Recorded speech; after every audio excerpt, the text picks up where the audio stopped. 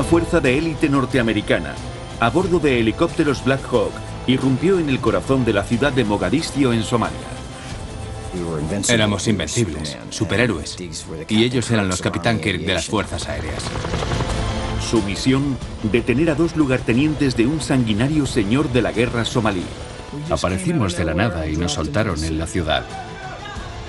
La misión de las fuerzas especiales no debía durar más de una hora. Pero pronto quedó fuera de control.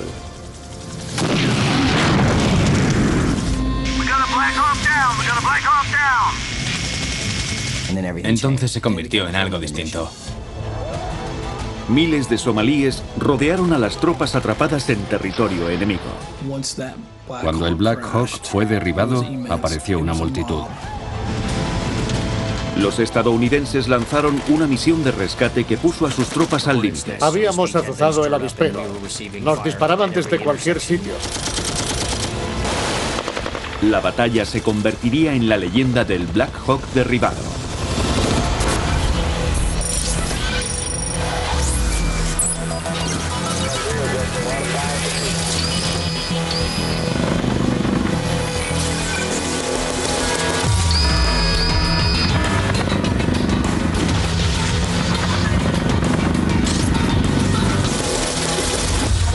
Operaciones ocultas. La historia real de Black Hawk derribado.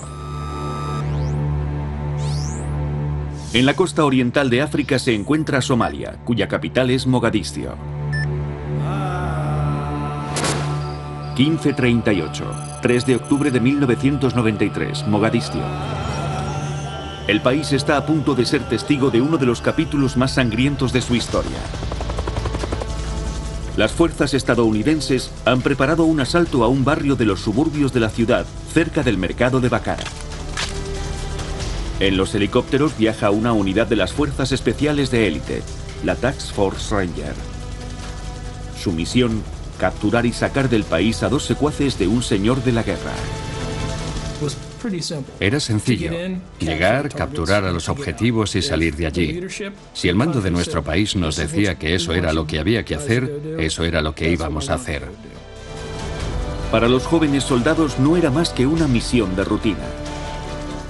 Estábamos preparados para ello. Y desde luego para cualquier cosa que pudieran lanzar contra nosotros.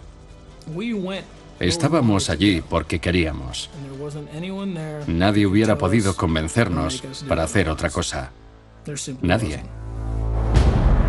1539, Centro Estadounidense de Operaciones Conjuntas.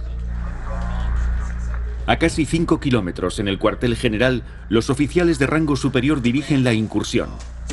Al mando de la Task Force Ranger está el general de dos estrellas William Garrison. William Garrison era experto en operaciones de infantería. Había servido en las Fuerzas Aéreas y había sido asesor en Vietnam. Garrison llevaba casi tres décadas participando en batallas en todo el mundo. El general Garrison era un hombre muy respetado dentro de las fuerzas especiales. Pese a la confianza que despierta en sus hombres, Garrison acumula también la experiencia suficiente para saber que es una misión plagada de riesgos. Está enviando a la Task Force Ranger a una de las ciudades más peligrosas del mundo. Si lo logran, habrán asestado un golpe estratégico a uno de los hombres más violentos de Somalia. Mohamed Farah Aidid.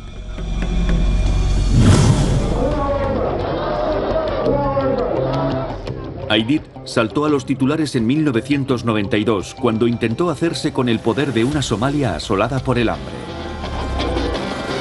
Una fuerza de ayuda de las Naciones Unidas que incluía tropas estadounidenses fue enviada al país para ayudar a millones de personas que morían de inanición.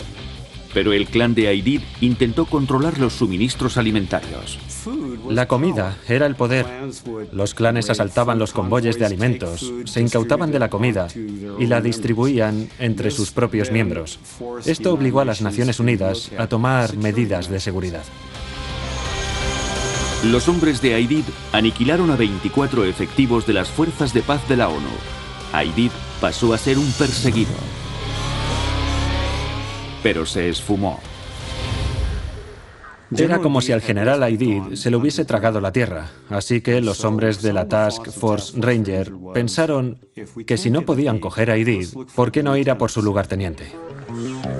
Garrison disponía de información de inteligencia que confirmaba que dos de los hombres más importantes de Aidid habían sido vistos en Mogadiscio. Estos eran los hombres a los que la Tax Force Ranger debía atrapar.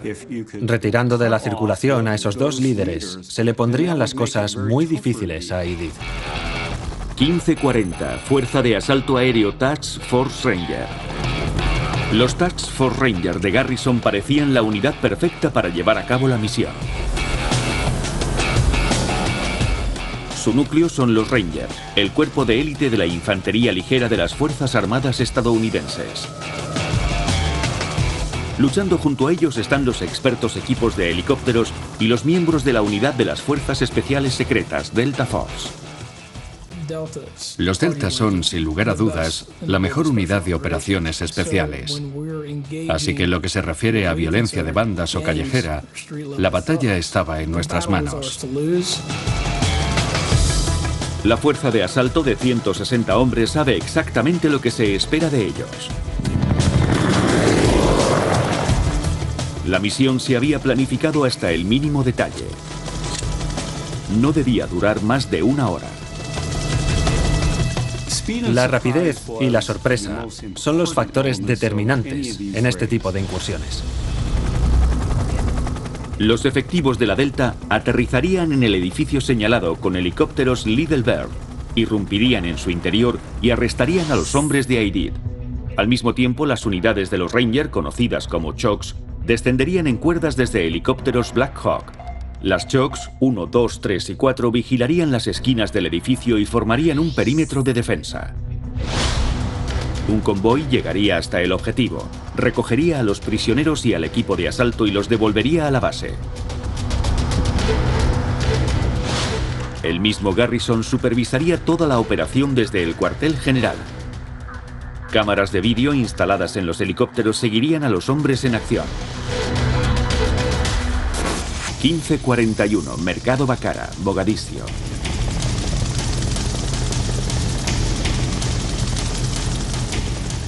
A media tarde la fuerza de asalto aéreo maniobraba sobre el objetivo.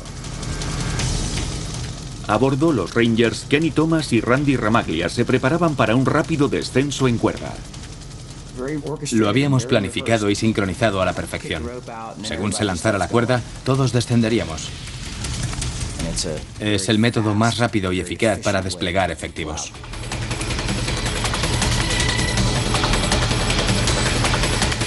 Aparecimos de la nada y nos lanzaron en la ciudad.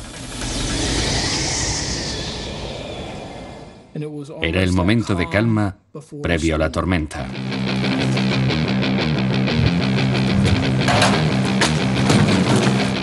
Los Ranger aseguraron la zona alrededor del objetivo. 1543, objetivo. En su interior el equipo Delta ya había iniciado la búsqueda de los hombres de Aidid.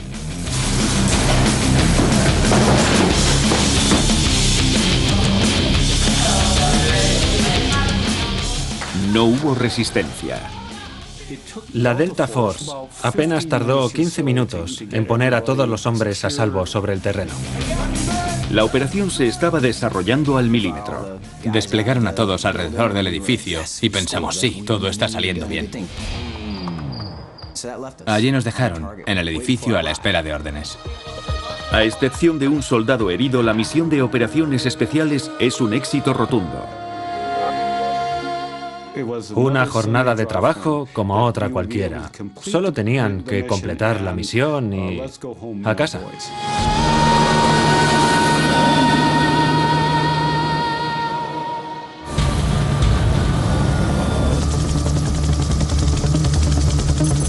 ...16 horas, objetivo. Los estadounidenses y sus prisioneros empiezan a subir al convoy, pero los somalíes están rápidamente reuniendo efectivos. La Choc 3, la unidad de la que forman parte Kenny Thomas y Randy Ramaglia, espera cerca del objetivo.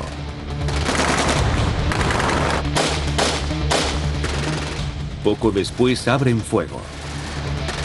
Primero llegó un disparo desde una dirección y de repente llegaron desde todas direcciones. Pero en ese momento, la gravedad no era mucha, porque no hacían blanco. Pero como Kenny descubre, la puntería de los somalíes empieza a afinarse. Estaba apoyado en una rodilla disparando hacia la carretera y ¡bang! Algo me impactó y me tiró para atrás.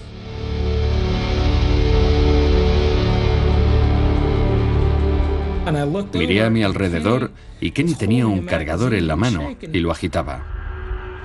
Creí que aquello iba a explotar. Sujeté el cargador, miré al otro lado de la calle y vi a Randy. Me pareció que se estaba riendo de mí porque supongo que le parecí idiota en ese momento. El cargador evitó que la ráfaga lo atravesara. Era un tiroteo dirigido contra Kenny. Tenía un agujero perfecto y todo el extremo de atrás había volado por los aires. Me había salvado por milímetros. Así fue.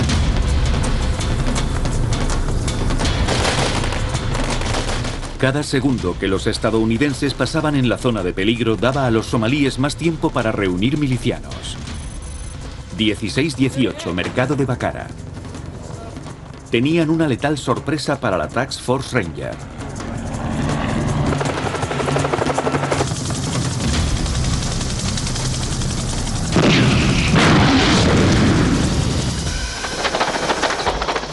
Miré hacia arriba y vi una nube de humo negro procedente de la sección de cola del Black Hawk.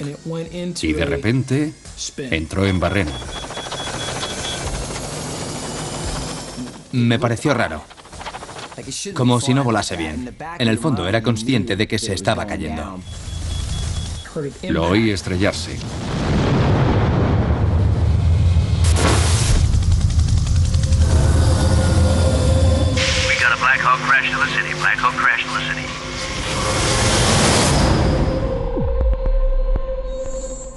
Estábamos a punto de volver cuando derribaron el primer helicóptero y la misión se convirtió en algo distinto.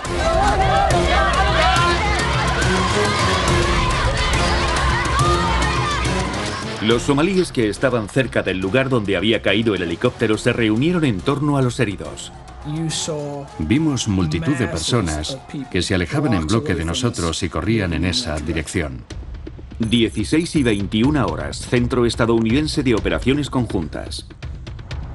En el cuartel general, Garrison y su equipo contemplan atónitos cómo se desencadena el desastre. Entre los hombres a su mando se encuentra el Ranger Larry Morse. La actividad era frenética, sobre todo después de que el helicóptero se estrellara. La ansiedad colectiva era muy alta, todos concentrados en encontrar el modo de evacuar a nuestros hombres de la ciudad. Los dos pilotos estaban muertos, pero había algunos supervivientes. La reacción del general Garrison debía ser inmediata. Tenía que destacar fuerzas allí. La situación era de extrema gravedad por el lugar donde había caído el helicóptero. La situación era aún más difícil porque el helicóptero se había estrellado en pleno centro del territorio enemigo. La Task Force Ranger está en una zona urbana de complicado acceso para los efectivos y, por lo tanto, muy complicada también para la evacuación de las tropas. Garrison envía otro helicóptero para llevar ayuda médica y francotiradores a la zona del accidente. Pero eso solo servirá para ganar tiempo. También desviará el convoy cargado con los prisioneros a recoger a los supervivientes. Pero nadie sabe cuánto tardará en llegar. Moviliza entonces a los efectivos de los Ranger y Delta que están aún sobre el terreno cerca del objetivo. Las órdenes son trasladarse hasta la zona del accidente y formar un cordón de protección lo antes posible. 16-26, cerca del objetivo. La Choc 3, con Randy Ramaglia y Kenny Thomas entre sus efectivos, está a unos 450 metros del helicóptero derribado. Tu instinto inmediato es ir a ayudar. Esa es la primera reacción, ayudar a tus compañeros. El pájaro había caído, teníamos que ir. Pero la incursión de la Tax Force Ranger ha azuzado un nido de avispas. Tenían a toda una ciudad, potencialmente enemiga, movilizándose hacia el lugar del incidente. La sensación era de urgencia. Veíamos a la gente corriendo por las calles aledañas en dirección hacia el helicóptero. Todos corriendo a pie. Entonces es cuando deben recurrir a su entrenamiento como Rangers. Todos corrimos hasta la pared y hasta la esquina para cruzar al otro lado uno a uno. Hay que disparar, comunicar el movimiento, poner a los hombres donde tengan un buen ángulo de tiro y puedan identificar a los enemigos. Es algo automático. Todos sabíamos lo que teníamos que hacer. Mientras las tropas estadounidenses se acercan al lugar del incidente, el fuego se intensifica. Oí un grito agudo. Miré y vi a un delta. Vi cómo su cabeza se desplazaba hacia atrás y caía.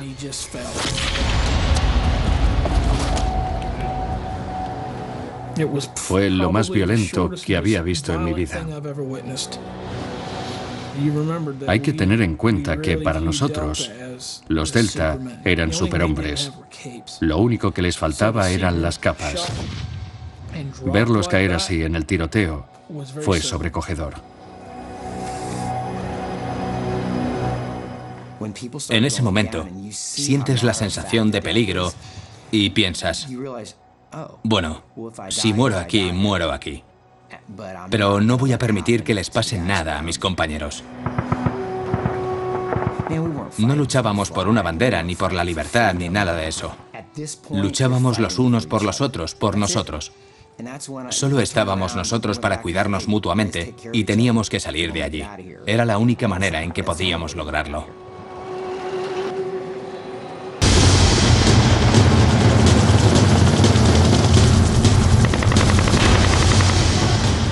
La unidad de Kenny y Randy sigue luchando para abrirse camino hasta sus compañeros heridos en el helicóptero, pero aún están a una manzana. Mientras, la confianza de los somalíes aumenta y sus efectivos. 1635, Centro Estadounidense de Operaciones Conjuntas. En el cuartel general Garrison recibe más malas noticias. El convoy que se había desviado hacia el lugar del incidente tiene problemas. Lamentablemente, un fallo en las indicaciones lleva al convoy a perderse por la ciudad. Si le añadimos el fuego contra ellos y las calles cortadas, se enfrentaban a una tarea muy difícil. Garrison se da cuenta de que el convoy va a tardar mucho más en llegar de lo que él había calculado. Va a tener que recurrir a los helicópteros para hacer llegar la ayuda, lo que es muy arriesgado. Los somalíes los acechan apostados por toda la ciudad con lanzagranadas.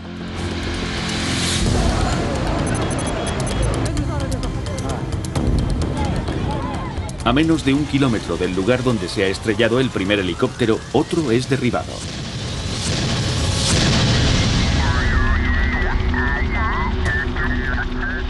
Garrison y su equipo observan horrorizados cómo se viene abajo el segundo Black Hawk.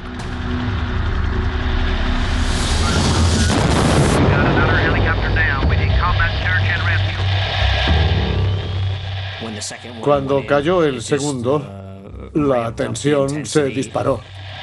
De nuevo hay supervivientes. Uno de ellos es el piloto Mike Duran. Costase lo que costase, hubiera que hacer lo que hubiera que hacer para alejar a la gente de nuestros hombres, lo haríamos.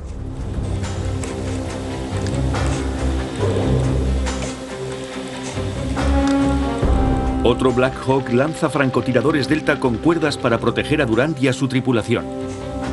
Pronto están rodeados. Los Black Hawk derribados han caído a casi un kilómetro de distancia entre ellos, lo cual complica aún más la misión de rescate. El convoy aún no ha conseguido llegar siquiera al lugar del primer derribo. La mitad de sus efectivos están ahora heridos o muertos. No parábamos de oír el número de víctimas por radio. Lo único que quería hacer era ir allí y ayudar, colaborar en el rescate. 1652, Centro Estadounidense de Operaciones Conjuntas. Garrison toma una difícil decisión. El convoy de rescate está prácticamente fuera de combate. No queda más remedio que retirarlo de allí.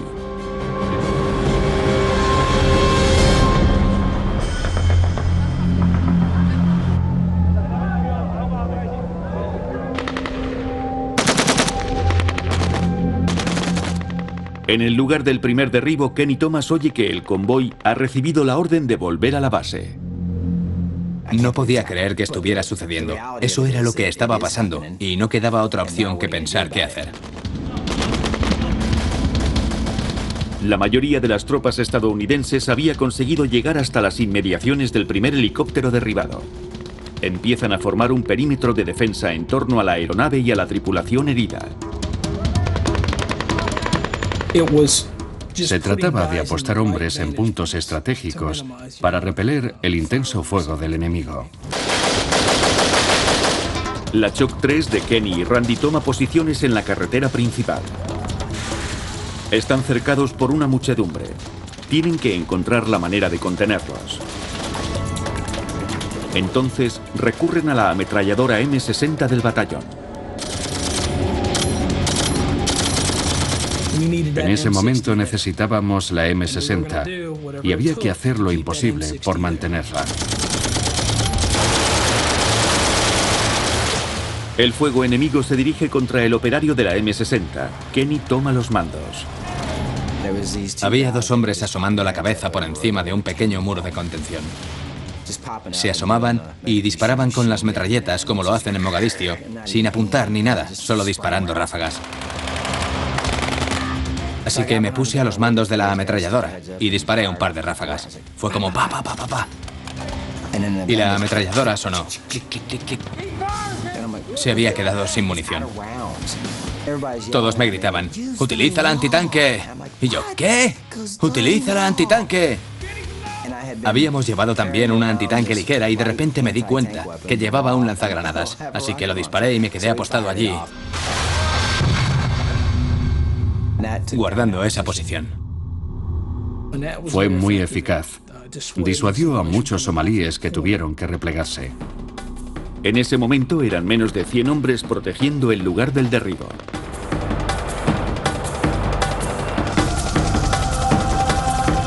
El número de somalíes crecía por momentos y superaban a las fuerzas estadounidenses al menos por 10 a 1. La mayoría de ellos, además, estaban relacionados con el clan de Aidid. Los miembros de un clan somalí creen en su clan ante todo y sobre todo, y lo llevan hasta el último extremo, hasta tal punto que están dispuestos hasta a morir. Para aumentar aún más su fanatismo, algunos han consumido grandes cantidades de la droga de moda en el momento.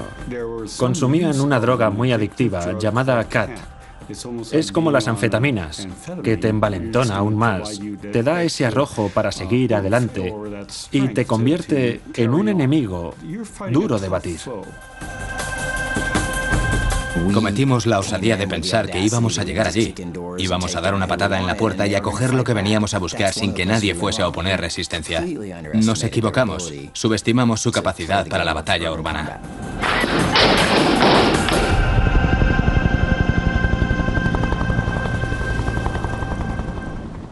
17 horas, cuartel general estadounidense.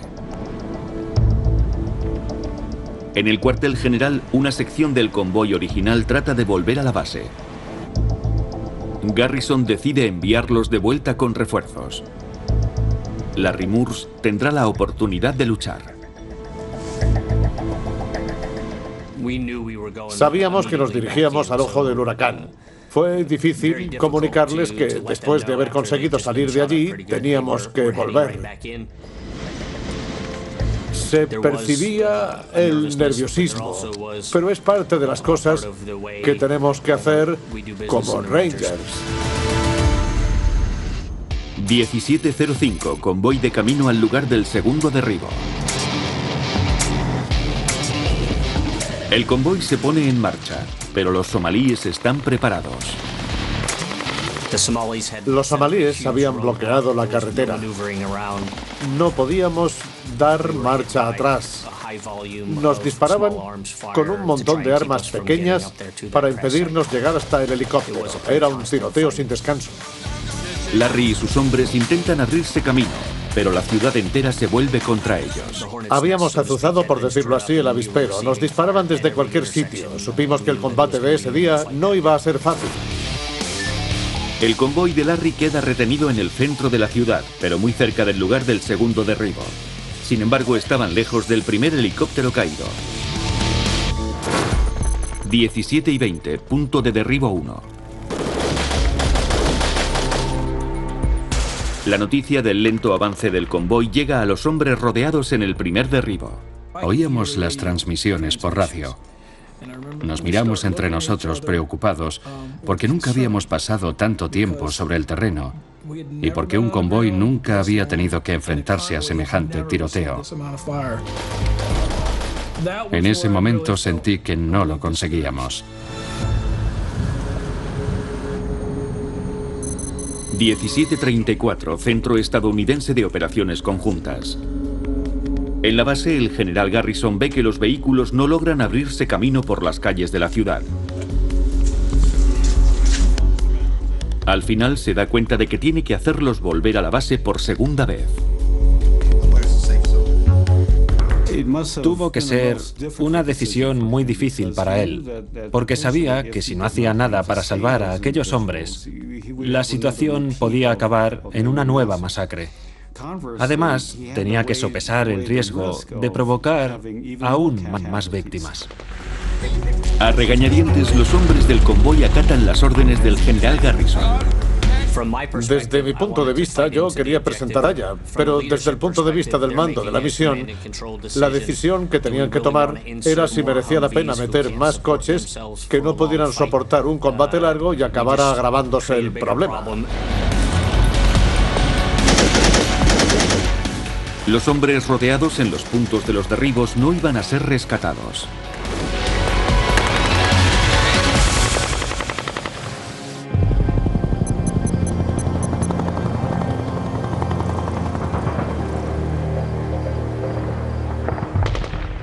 La noche cae sobre Mogadiscio.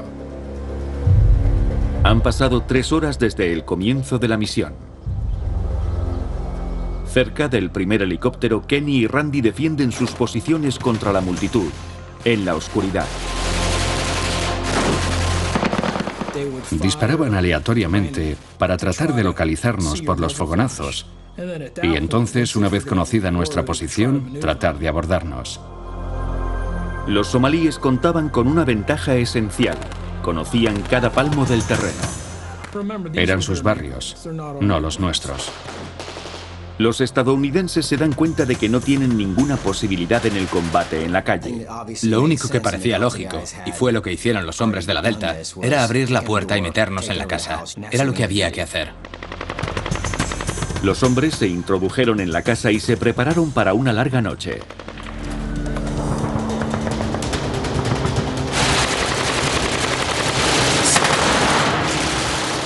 Muchos de los hombres de la Tax Force Ranger se empiezan a arrepentir de no haber incluido una pieza esencial del equipo de combate. No estaba previsto que tuviéramos que estar allí tanto tiempo. Muchos no habíamos cogido las gafas de visión nocturna. Preferimos no tener que cargar con más dispositivos y fue un error. Aprendimos que es mejor llevarlo y no necesitarlo que al revés.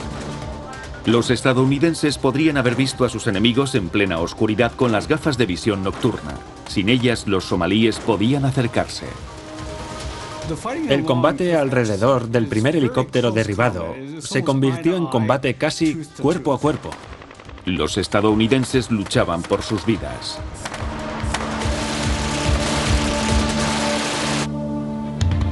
«1845, Centro Estadounidense de Operaciones Conjuntas». En el cuartel general, Garrison es consciente de que la operación se encamina al fracaso. No solo hay hombres atrapados en el lugar del primer derribo, sino que en el del segundo todos han muerto o han sido capturados. Desesperado por salvar algo, Garrison se concentra en el primer helicóptero antes de que sea demasiado tarde.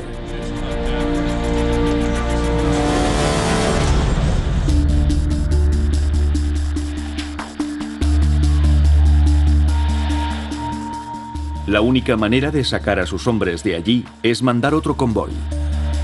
Pero después de haber fracasado dos veces, Garrison se da cuenta de que va a necesitar la ayuda de otras unidades de la ONU en Somalia. ¿Cómo conseguir evacuar las tropas? Con ayuda adicional de vehículos acorazados, capaces de abrirse camino a través de los bloqueos y de proteger el convoy. ¿Y quién iba a proporcionarles esos vehículos? Pues solo podía ser la ONU. Reunir esa fuerza internacional iba a llevar tiempo. algo de que los hombres sobre el terreno no disponían.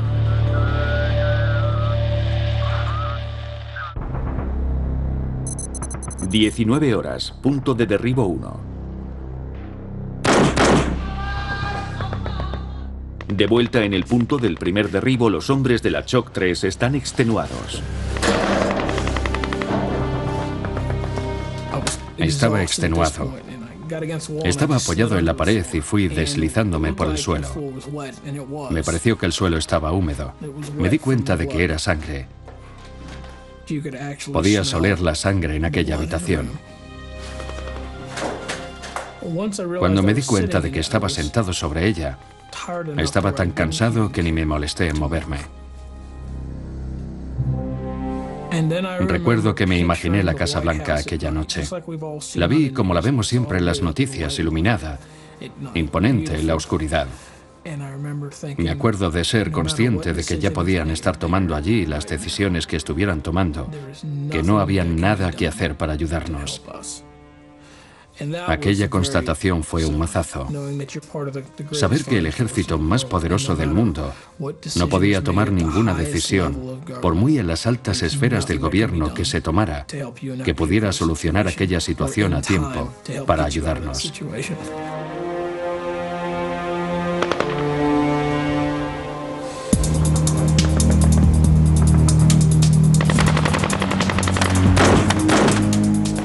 Los estadounidenses estaban pagando el precio por la prepotencia con la que habían abordado esa misión. Las gafas de visión nocturna no era lo único que les faltaba en ese momento. Por entonces ya teníamos claro que nos faltaban efectivos. Además se les estaba agotando la munición, la comida, el agua y los suministros médicos. En las posiciones de la Choc 3, uno de los hombres estaba desangrándose. Necesitaban desesperadamente más morfina y bolsas de suero. Tenían que reabastecerlos. 19 horas, Centro Estadounidense de Operaciones Conjuntas. Garrison se ve obligado a tomar otra decisión esencial. Ya ha perdido dos Black Hawk en la ciudad, pero un helicóptero con víveres es la única manera de reabastecer a sus hombres. No hacer nada no era una opción. Asume la responsabilidad de enviar un helicóptero con suministros. Y eso hizo.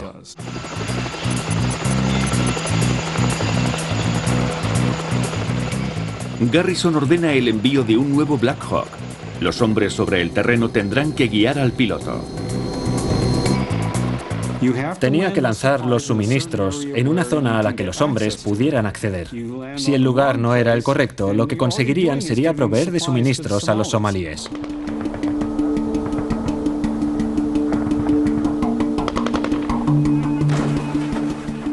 El éxito de la misión dependía de un estroboscopio infrarrojo que portaban las tropas estadounidenses. Invisible para los somalíes, la señal de este pequeño dispositivo permite al piloto localizar la zona de lanzamiento sirviéndose de la pantalla de visión nocturna.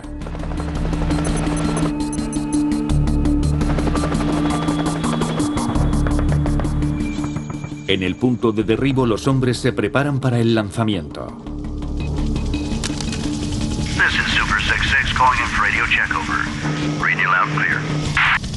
Los Ranger guían al helicóptero hasta que el piloto detecta la señal estroboscópica.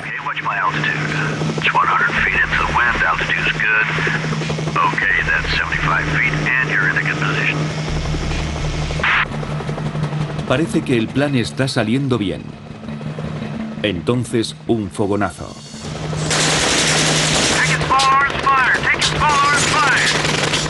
Tenían que llegar hasta allí, mantenerse en el aire e irse. Pero sabían que iban a disparar contra el helicóptero, claro. Ting, ting, ting, ting, ting.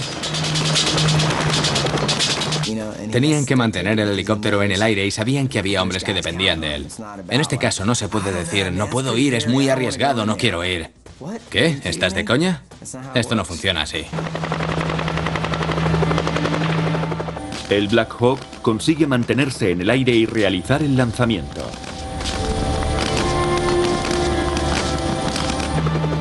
Los Rangers reciben sus salvavidas. Cuando estuvieron justo sobre el edificio, lanzaron los suministros. Estaba todo lo que necesitábamos para mantener a los hombres con vida. Nos estábamos quedando sin líquidos y no teníamos nada para evitar el colapso de los que se estaban desangrando. Sin bolsas de suero, no se hubieran salvado. El Black Hawk regresó a la base agujereado por las balas. Ahora, los hombres sobre el terreno pueden aguantar mucho más tiempo. Pero se impone que el general Garrison encuentre una solución para rescatarlos. 21 a 30, Centro Estadounidense de Operaciones Conjuntas. En el cuartel general Garrison recibe la noticia que esperaba. Las fuerzas de la ONU acceden a enviarle sus carros de combate para el siguiente convoy. Los malayos y los pakistaníes se comprometieron a venir con nosotros, lo cual les honra porque ellos no tenían a ningún hombre atrapado. Sin embargo, se ofrecieron a ayudarnos en la misión, a venir con nosotros y luchar durante toda la noche. Un convoy multinacional fuertemente armado parte de Newport y pone rumbo a la ciudad. La mitad de la fuerza se dirige al segundo helicóptero para volarlo. Quieren asegurarse de que un arma de tecnología tan avanzada no caiga en manos enemigas. El resto se encamina hacia el norte donde esperan los hombres que protegen el primer helicóptero.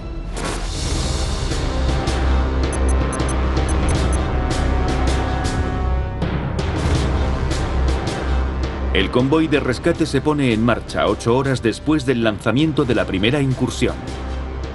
Una vez más, Larry Moores forma parte del equipo. Todo el que estaba en disposición de luchar aquella noche vino con nosotros. Había analistas de inteligencia y hasta algunos rangers heridos que todavía podían valerse porque todo el mundo quería formar parte de aquella misión. El cabo Robert Lowhead, un conductor de Humvee asignado a la décima división de montaña, se une al equipo de rescate. No importaba si eras oficial de operaciones especiales, ranger o de la décima de montaña. Había gente en peligro. Sabíamos que éramos nosotros contra un país entero. No había tiempo de pensar en ello. Había que actuar.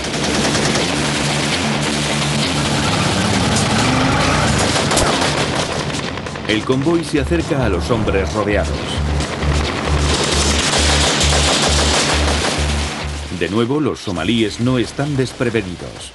Fue principalmente un fuego cruzado de un edificio a otro. Corrían por la calle disparándonos. Miraras donde miraras, ventanas, techos, estaban por todas partes disparándonos. También nos disparaban de frente. Un caos.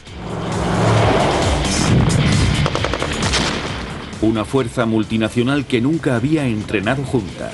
El resultado, la confusión. Empiezan a acercarse al primer helicóptero derribado y los dos primeros vehículos acorazados malasios sufren el impacto de una bomba casera. Bajo un intenso fuego, los malasios toman la dirección equivocada, lo cual provoca aún más retraso. 23.55, punto de derribo 1. En el punto del primer derribo la tensión es máxima entre las tropas que esperan. No había duda de dónde estaba el convoy, porque el fuego cruzado era increíble. El equipo de rescate está a menos de un kilómetro, pero es como si estuviera en la otra punta de África. Por radio oíamos que estaban orientados, que no lo estaban, que sí, que no. No sé, en esos momentos la verdad es que te rindes. El convoy tardó tres horas en abrirse camino en la noche. Disparos desde los tejados, desde las calles y callejones, desde las puertas y ventanas. Tuvieron que luchar contra todo eso para llegar. Por fin lo consiguen.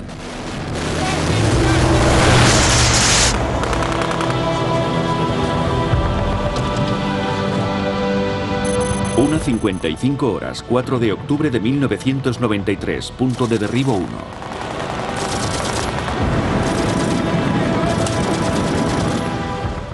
En ese momento pensamos que por fin se había acabado. Estábamos agotados. La sensación era que por fin había acabado, que podíamos sacar a los heridos de allí. Los hombres apostados junto al primer helicóptero suben a las víctimas a los vehículos y se preparan para partir. Todo el mundo pensaba que estaban a punto de volver a casa. Dos horas, Centro Estadounidense de Operaciones Conjuntas. Pero el general Garrison ha dispuesto un último reto para ellos. Según el código de los Rangers estadounidenses, no se puede dejar a ningún hombre atrás. Garrison quiere que sus hombres recojan el cuerpo del piloto del helicóptero derribado para llevarlo a casa. Era lo que teníamos que hacer, era lo correcto. Dejar el cuerpo allí no era una opción. Pero el cuerpo está atrapado en el amasijo de hierros de la cabina y van a tardar en liberarlo. El retraso puede significar perder la cobertura de la oscuridad. Desmontar la aeronave para sacar al piloto y poder llevárnoslo a casa fue una misión contrarreloj. El Humvee de Robert Lowhead recibe la orden de liberar el cuerpo de entre los hierros. Atamos la correa del remolque a las diferentes partes del helicóptero para poder abrir el armazón y tener mejor acceso al cuerpo. El retraso les da a los somalíes más tiempo para atacar. En el interior de la casa, Randy y Kenny luchan por contener el estado de nervios. ¿Qué pasa ahora? Era lo que queríamos saber. Vamos a terminar ya, venga, puerta, vámonos. Estábamos todos muy nerviosos. Los somalíes empezaron a disparar de nuevo. Sin duda fue la noche más larga de mi vida. 5.30 horas, punto de derribo 1.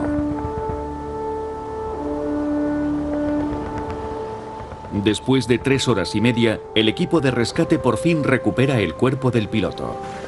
Solo entonces pueden poner rumbo a casa. Vámonos echando leches. No me importa lo que tengamos de frente. El convoy tiene que enfrentarse aún a un laberinto férreamente defendido de calles hasta llegar al estadio custodiado por la ONU, en el norte de la ciudad. Y lo peor, no hay vehículos suficientes para todas las tropas. La solución fue ir corriendo, pegados a los vehículos. 5.45, convoy de camino al estado de la ONU.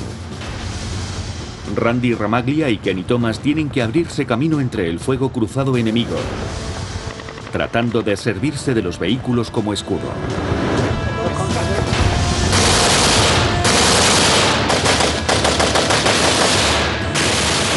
El combate no bajó de intensidad por la mañana. Era como si alguien estuviera lanzando puñados de guijarros contra el metal. Eran las balas rebotando contra los vehículos. Pero los hombres a pie no tardan en quedarse atrás. Llegamos a la primera intersección y el vehículo no esperó. Siguió adelante. Soy un hombre rápido, pero no como un vehículo. Salieron pitando. Eso nos dejó a 30 de nosotros corriendo para escapar de la ciudad.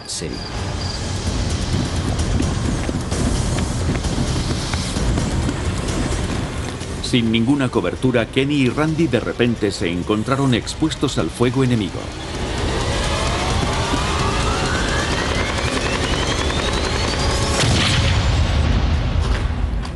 Sentí como si me hubieran golpeado.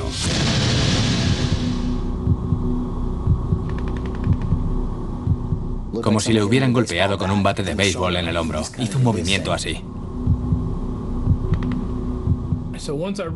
Cuando me di cuenta de que me habían disparado, me toqué el chaleco antibalas para encontrar la salida. Empecé a respirar profundamente, esperando oír un borboteo.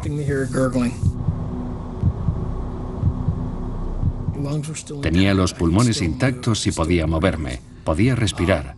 Fue un alivio. Sabía que estaba lo suficientemente bien como para seguir adelante. 6 horas, 4 de octubre de 1993.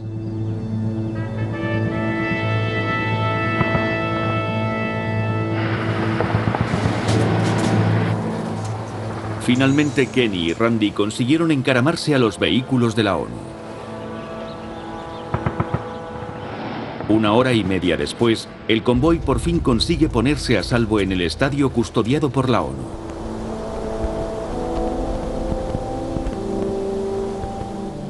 La odisea de 14 horas de la Task Force Ranger por fin ha terminado.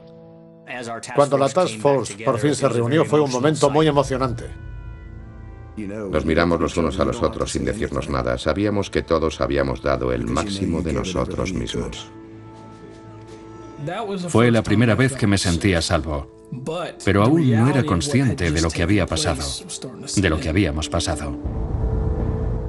Me desbordó la emoción. Recuerdo que empecé a llorar. Randy se acercó a mí y me preguntó si estaba bien.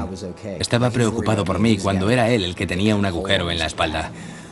Pero lo que importaba en ese momento era que estaba vivo. Habíamos perdido hombres aquel día. Era muy consciente de que nos habíamos salvado de una situación muy peligrosa. El general Garrison hizo balance del coste de la misión. 18 estadounidenses, un soldado de las fuerzas de paz malasias y 500 somalíes muertos.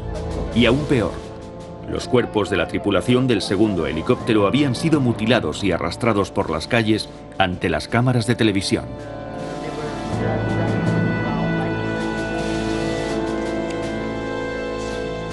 Garrison escribió posteriormente al presidente Clinton para asumir la plena responsabilidad de los hechos y esculpar a Washington.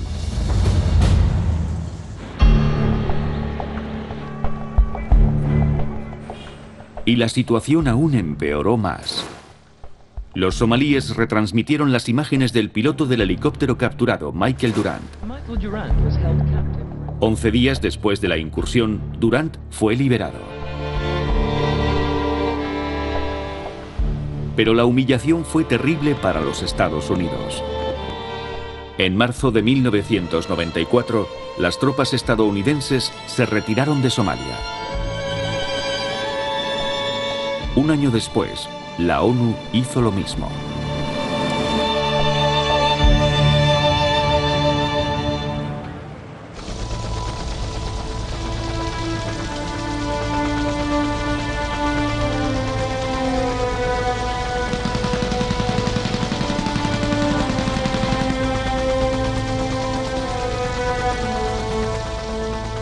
Años más tarde, los hombres que lucharon en Somalia en esta misión siguen sintiéndose orgullosos de su gesta.